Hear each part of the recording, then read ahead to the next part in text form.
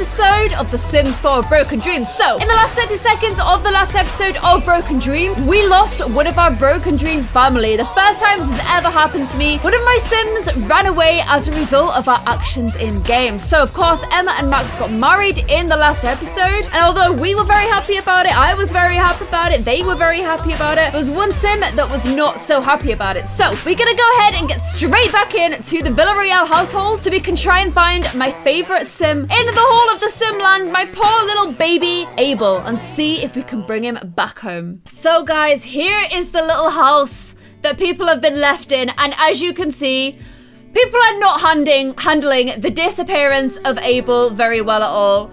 In fact, everybody is pretty miserable. And as you guys probably know, when something like this happens, it's hard not to end up taking it out on your family. Which I think unfortunately is kind of happening a little bit. They're trying to talk things out, but everybody's so sad about Abel leaving. And a few of you guys were asking kind of why did Abel leave? Is it because he's like upset or confused about his sexuality and like the idea of them being at a wedding was just too much for him? Guys, that is not what happened at all. What happened is, and I didn't realize this initially playing, and that was the whole point because we were so kind of obsessive about, you know, the wedding going well and everything being great. I mean, look at these guys. The wedding going well, these guys having a lovely day, everybody looking so nice, and the day going off so lovely. I don't think any of us really noticed that Abel was really, really struggling. These guys look like they're arguing about it with each other now as well. If you watch back at that video, Abel was really down the whole time and also Abel woke up feeling like really really sad and also in particular he woke up feeling guilty from his PTSD and it was actually the first time that I've seen like a moodlet from his PTSD which was guilt. So he kind of woke up that day feeling like really guilty and sad about things which we've never seen before. And I initially thought he was feeling guilt about the whole um, about Elsa dying like it was somehow his fault. But watching back, I don't think that's what he's feeling guilty back about at all. I think what Abel was actually feeling really guilty about was the fact that everyone's lives were moving on. Emma and Max were back together. They were getting married again. And as much as Emma is a, like a mother figure to him, he was feeling so much guilt about that. And about the fact that his mother has been left behind and she's gone and he's just not dealing with that well at all. So he struggled for like the whole of the wedding. And at one point in the wedding, we actually saw him in the toilets trying to calm down in front of the mirror, crying. He also was crying for the whole ceremony, like he just couldn't hold it together.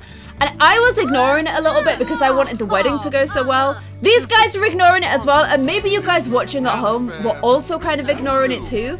Just because we were so focused on these two little bambinos here. But Abel, of course, could not ignore how down and how sad he was feeling. And it got to the point, of course, where he just couldn't handle it anymore and he just had to leave. I think Lilith actually is feeling pretty angry about the whole thing, which is kind of a classic Lilith reaction, to be honest. So we saw Abel in the last episode kind of go in and looking in everybody's room, maybe trying to like make himself talk to them one last time. Oh, she's crying it out, you guys. But he just couldn't bring himself to do it. He felt like there's this whole little family that he didn't really feel a part of. Like everybody was moving on from Elsa except him. And oh, look at Vixie come zooming in. And he just couldn't handle it. He just literally couldn't handle it. He didn't feel good. He felt so much guilt about Elsa that he ended up just leaving the family and walking away. So as we know, little Emmelarino has been trying to like ring her sisters, trying to get a little bit of a help from everybody, but nobody is able to help. Everyone's got their own busy lives going on, and I don't think she's actually outright told anybody yet either. She is probably feeling a lot of guilt about it as well because she is like the woman that's come back into Max's life, and she's probably feeling like she's caused Abel to run away. She's not done anything wrong, really. She's always been there for Abel, but I think as a family in general, they haven't supported him as much as they should have done. And I can actually hear little Max crying away in his sleep. Abel is his son, like he looks the absolute spit of him as well.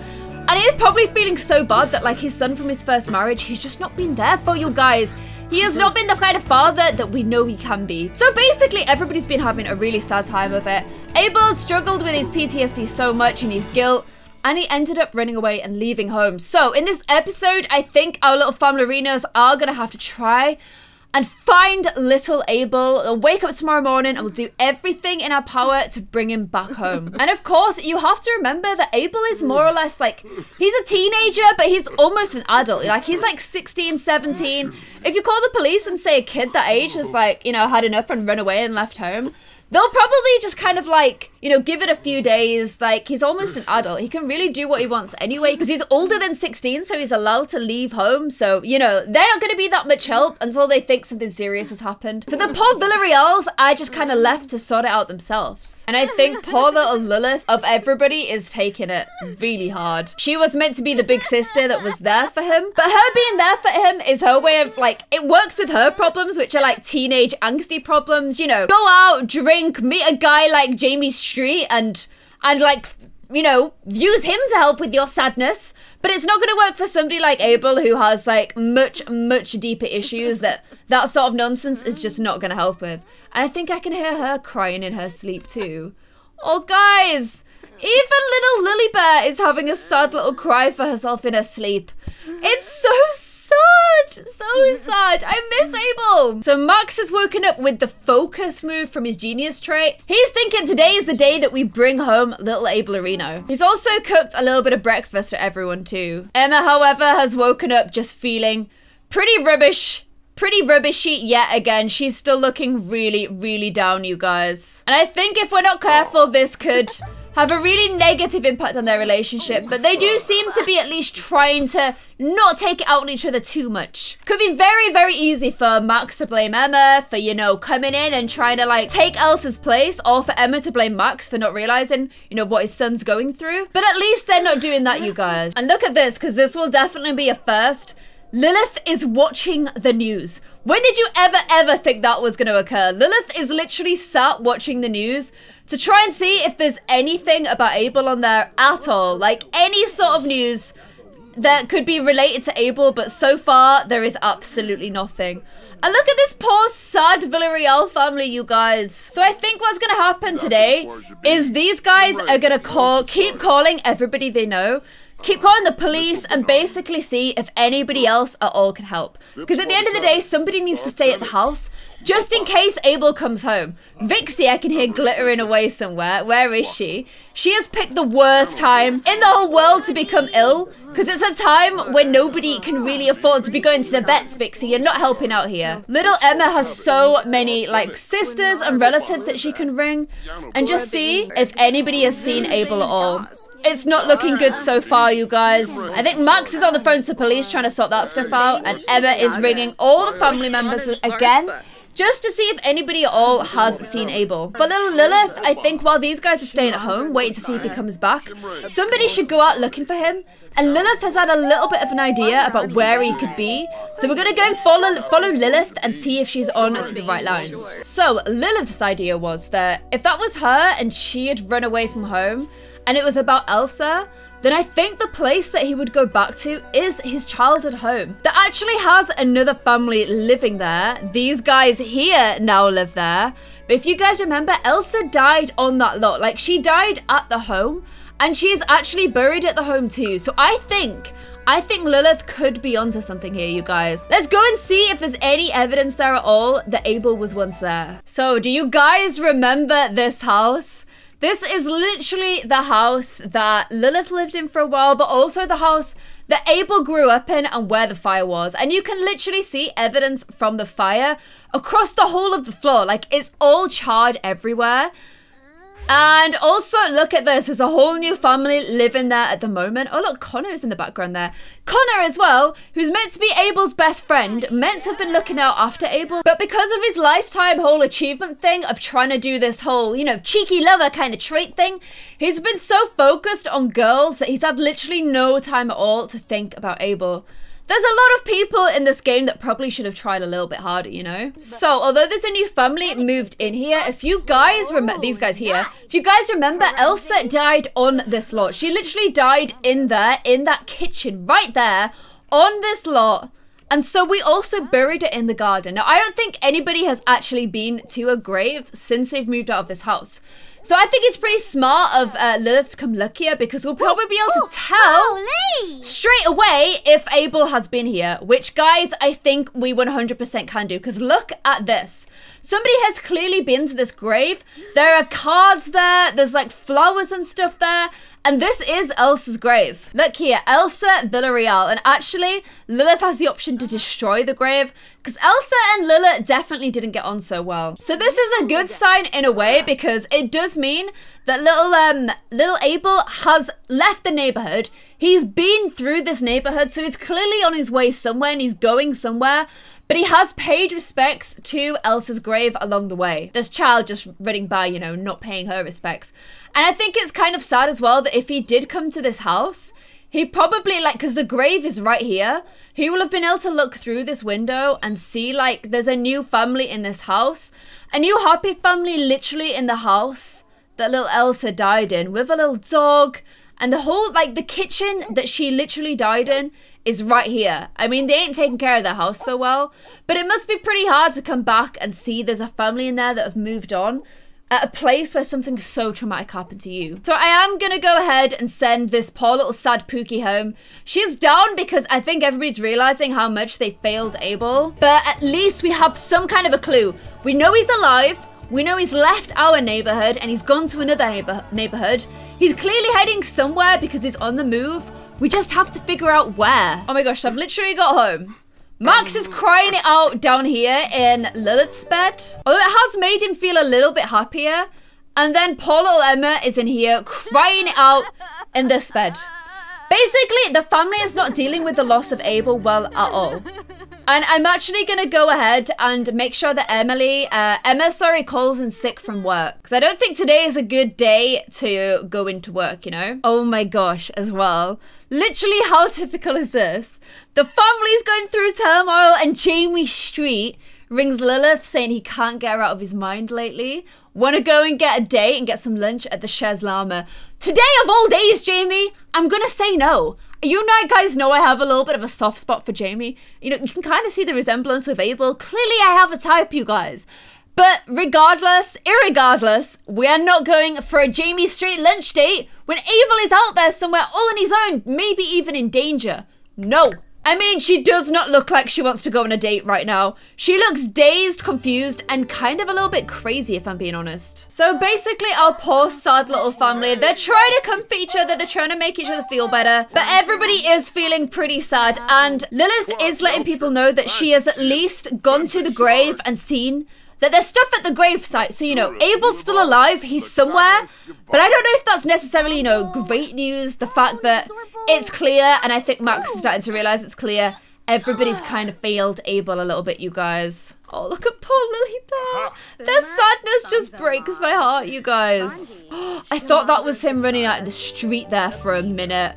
I actually think it's a girl. So one thing that I am going to go and do is call a group gathering to see if anybody can come around and help. Maybe once we've got some of this group around to come and help us, we can all get the whole Callerakin clan trying their best to find little Ableykins. Oh gosh. I think uh, Lilith just had a little bit of a go at Emma there. You guys, don't blame each other. Don't blame each other for this because it's all going to end in tears. Look at this. We've got the whole family coming around here. Everybody is gonna come and we're gonna figure out a way to get little Ablerito home. Oh, I was like, where's Lilith? She's not joining in with everyone downstairs. She's crying it out literally in Abel's room. She's literally in Abel's room right now, seriously struggling with not having a brother. And she's come downstairs now to chat a little bit with Connor. Connor, who's obviously kind of meant to be like Abel's good friend. So if anyone might have a little bit, oh my god, this room is so packed. Way too packed full of Sims. If anybody might have a little bit of an idea, it could be him. So she's having a little chat with him and seeing if he knows anything at all. You'd have thought if anyone's going to be quite down and sad about the whole thing as well. It is, look at Salma cleaning for them. Cleaning for them. You'd have thought if anyone's going to be feeling pretty sad and down about things, it's probably going to be little Connoroo. I think Connor's told her that Abel was getting pretty close with Erica, so maybe Erica knows something. So we've got little Connor to go ahead and call Erica. Ask her to come round to the house and see if she can help. Er wait, wait, where are you going? So Erica has come over to try and help out. Erica, who was obviously pretty close to Abel, and Abel invited home a few times, who's also looking a little bit sad about the whole thing as well. Erica might not have known that Abel was gone at this point because they weren't really talking because Abel pulled away because of the whole Connor situation. There's been so many like cross looses and ties and stuff. But Lilith's invited her over now and told her what has happened and just asked her if she has any idea where Abel might be. Erica actually doesn't, and she's just about to go off on a camping trip with her parents as well. So I don't know how much help she can really be. But she at least tells poor sad little Lilith that she's gonna keep her eyes peeled and see if she can try and find Abel as well. However, I don't really think this is the news that little Lily Bear wanted to hear. Because she's gone straight upstairs, back into Abel's room, to try and cry it out again. Oh my gosh, you guys! So, we now know that things are not so great in this house and that people are definitely feeling very down.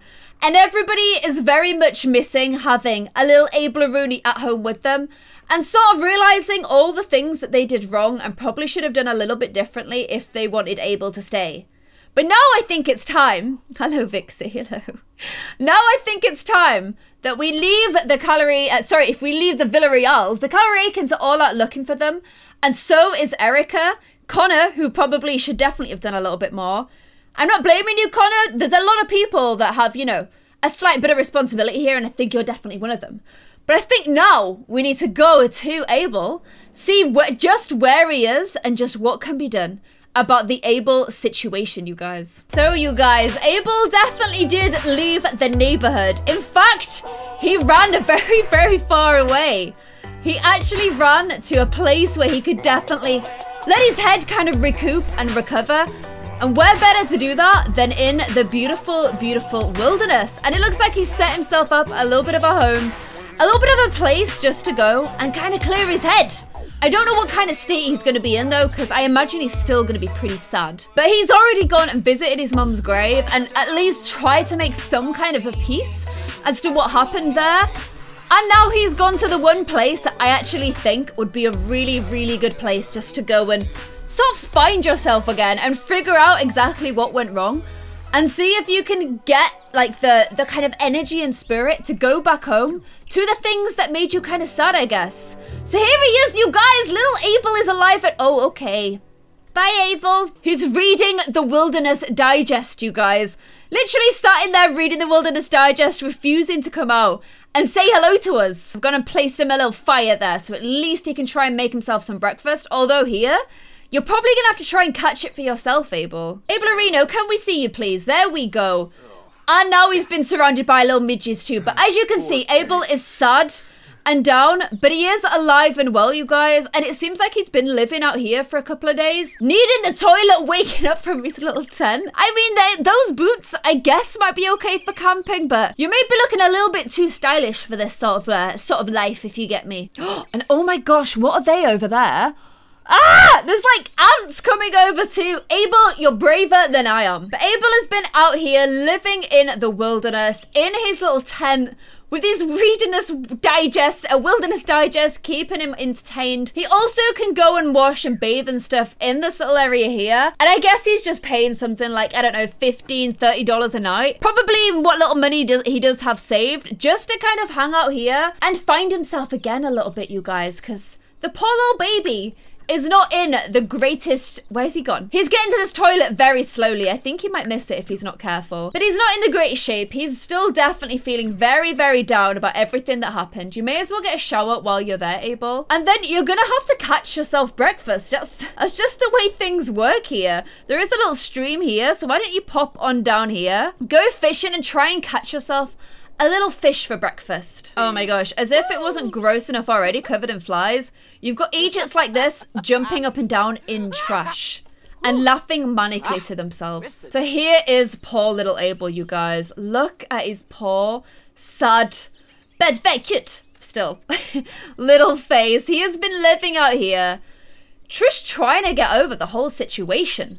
and look, that really pale spook girl is here as well. She's the one that we see around every now and again that sort of looks a little bit vampirish. Apparently she's camping too. Looking very, very pale for herself and like she might not quite make the toilet. But I do think being out here, kind of getting back in touch with like nature and with the wilderness could be a pretty nice way for Abel to just sort of help him get over things a little bit and maybe try and help him get a little bit of a, oh wow, now he looks just angry, you guys. He's tense. Oh, he's been triggered by something. Something as he's seen has set off his PTSD, you guys. And he's thinking about his dad. Bless him, you guys. He is thinking about home. Abel, you're gonna have to try and catch yourself some breakfast. He was about to do a little cloud gaze for himself there. Nope, guys, he is not gonna do a fish. He instead wants to try and calm down his tenseness with a little bit of cloud gazing. Mm, Bless you, you poor little triggered, beautiful angel, you. Look at Abel, you guys. This is why he's my favorite character. Just look at him. He's so cute. I know, but this is exactly what I was doing wrong last episode. Focusing on how cute and lovely he is instead of focusing on the fact that, you know, he is a person with very real problems and problems that we need to try and help work through, you guys. Although it says he's cloud gazing, the sky is cloudless. the thing is, he's gonna get hungry pretty quickly because he's literally too tense right now to even try and fish, which is not great if you're trying to live out in the wilderness by yourself. The intentions are there for this place, but the mindset and like physical capability it potentially isn't for poor Abel. Oh man, he's now on edge from his PTSD. Your sim feels like there's something wrong, but they don't know what. Is it the fact that you may starve of, of hunger soon if you're not careful, Abel? Maybe it is. Try and fish again. Oh no! Now he's unbearable from ne being near a bear. I can't see the bear. Oh, guys, he's not going to be able to fish. Okay. Oh, there's the bear. Okay, plan. And uh, now he's dazed. He's hallucinating from his PTSD. This is as why, as great as it is that he's heading out there on his own, he's not an ideal candidate for being in the wilderness by himself, you guys. Like, look, he is actually fishing now, but look at his face. He's clearly not really with it. Like, literally not with it at all. Abel, you need to call somebody. You need to call somebody and get some help. You can't be out here on your own. Looks like the fish in this area are too crafty for Abel. Oh my gosh, let's head down to the front. Can you fish where these houses are here? Maybe there's like an easier spot somewhere? How about here? This looks a little bit easier. It's not running water at least. And I mean, it's so pretty here that you can kind of imagine it as a nice place to try and get over something as traumatic as little Abel's been through. Guys, he did it! He caught himself a 0.1 kilogram minnow. I mean, it's gonna be a pretty small breakfast, Abel, but it's all you can have right now, okay? You need to head back to your cute little campsite and go and light yourself a little fire so you can at least eat. It's taking him till 3 p.m. to eat, you guys. 3 p.m. Oh, guys, he's now feeling very sad, depressed from his PTSD. Your sim is feeling rather down in the dumps. Try and distract your sim with something comforting. I don't know what you're going to find comforting out here, but why don't you go ahead and roast yourself a little fish, Abel? Then at least you can get some food in you. I. I don't know if the outdoor life is for you. It says Alien is seeing like Lilith try and be a little campsteroony. She's just not going to be great at it. They're, they're very much like safe, coddled little city kids, aren't they, really? But at least he's, he's look, look at his little fish that he caught. Check him out. He's caught a fish and he's cooking it. I'm proud of him. I am proud of our little cutesy being Abel. Okay, you're gonna burn it if you don't start eating it soon, Abel. I'm just putting it out there.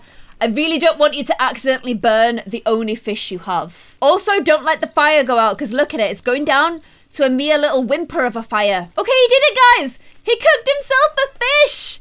He cooked himself a fish. I'm so proud of him. He's so sad and he's feeling depressed at the moment, but I'm really glad that he's like cooked himself his own little fish. No, the fish is not cheering him up, you guys.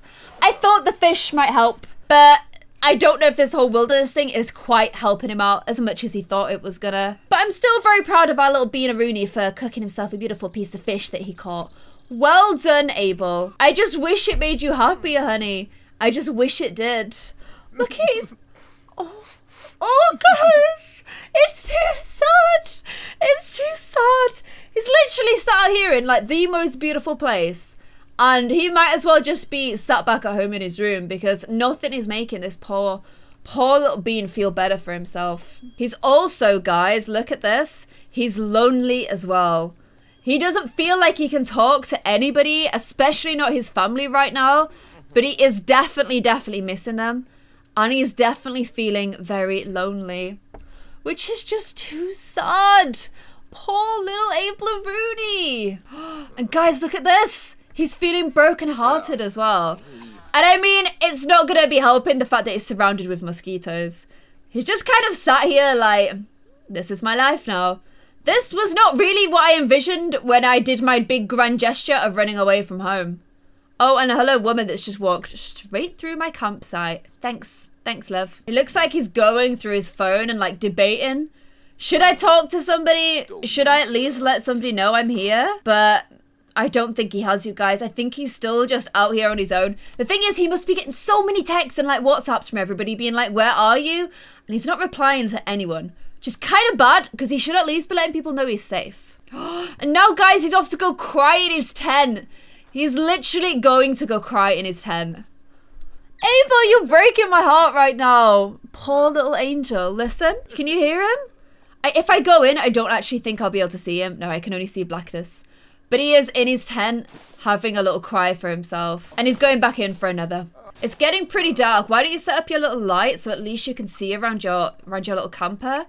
Can you not turn this on? Will this just generate light automatically? I'm kind of hoping it will. And his social is getting really, really low now, you guys. And the person who's actually at the top of his list to talk to is Erica, who's his friend that will always be in there for a kind word. But even so, he just keeps going in and crying over and over again, Abel. I've asked him to catch some little fireflies. See if that makes him feel a little bit better. He caught three fireflies. Fair play to you. And now he's just kind of lying by himself. And he's cute. He's got, uh, it's a cute little campsite. I like the little ivy at the side here. But he's just watching the stars all on his own with nobody to talk to. Despite the fact that he's feeling really lonely. And look at this. He wants to call the sadness hotline. Okay. I think that is actually a good shout. Why don't you call the sadness hotline, Abel? Even if you're not getting help from at home, if you're feeling down and depressed and sad, you need to know that there's somebody you can talk to, okay? There we go, you guys. I've got him to speak to the Sadness hotline. So at least there's somebody there talking to him, giving him a little bit of advice. Although I don't know how much it's helped the poor one. I do think he just needs to at least call somebody to check in and just say like, I'm alive, I'm okay. I'm just in a really, really bad place. But maybe not tell them where he is. Just kind of say, I'm out. I'm out in the sticks all alone. I'm feeling pretty down. And I'm hoping that this is going to help cure me, but I think I, I think I need some help. So when Abel has woken up the next morning, Guess who is literally waiting outside his tent for him? It turns out it was actually Erica that Abel called yesterday because Erica's literally camping with her family as she told little Lily Bear just down there. She could tell straight away where he was when he was on the phone from the sounds of the wilderness around him. And also she could tell that he definitely, definitely needed help. And although she's not been able to talk to Abel for a while because of the whole Connor thing, she knew that she had to go over and help little friendo Abel. And straight away, Abel seems like he's perked up a little bit. He's out of like that depressed mood. And he's he's at least got a little bit of a there we go that's the smile I was looking for. He's definitely got himself a little smile back on his face again you guys. Which is what we wanted to see. It definitely seems like he called the right person to help him out. And we of course know that cute little Erica look at her eyes like she's got such big pretty eyes has always been like this really nice sort of like calming influence on little Abel but we also know that Erica and Connor had their first date last episode of In the Suburbs. And also, look, I feel like he's ripped all his clothes out here. Also, uh, kissed each other for the first time. So this situation is actually a little bit of an awkward one right now. Because I guess she's gonna have to tell him at some point that her and Connor went out on a date. And how this is gonna affect... I don't know how you can cloud date gaze in the... In the Ivy there, little uh, little label. But maybe hearing that she's dating Connor is just gonna put him straight back in a little bit of a depressed mood. I don't know, you guys. So it's cool that little Erica can hang out with him because she is literally just camping down the road. But what is gonna happen when she inevitably has to tell him that she's been on a date with Connor or should she tell him at all? Is Abel ever gonna come home if he hears yet some more sad news, you guys? I don't know. I don't know what is gonna happen. Let me know your thoughts in the comments below.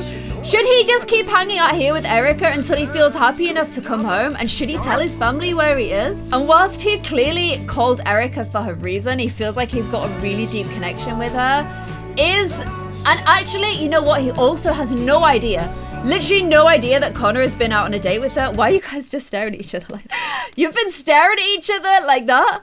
For quite a while now, you guys. Like, what what is the deal? What's going on here? There we go. now they're back to being their little selves again. Is is this still really wrong because she's dating Connor? Is it's sad because it's like the one person that actually gets Abel out of his funk and out of feeling so down is also kind of the one person that he can't have. Guys, what do we do about this Abel situation? At least we found him and at least he's like alive and well. But now, what on earth are these guys gonna do? Should he keep hanging out with her until he feels happy enough to go home? Or should he just go home and try and deal with his emotions there? Guys, if you have some ideas, please let me know in the comments below. And let me know what you think we should do about the Abel and how we can get him back home again with the Villarreal family. I hope you guys have enjoyed this special episode of Broken Dream. If you have, let me know in the comments below. And I'll see you guys in another episode. Thank you so much for watching. Bye.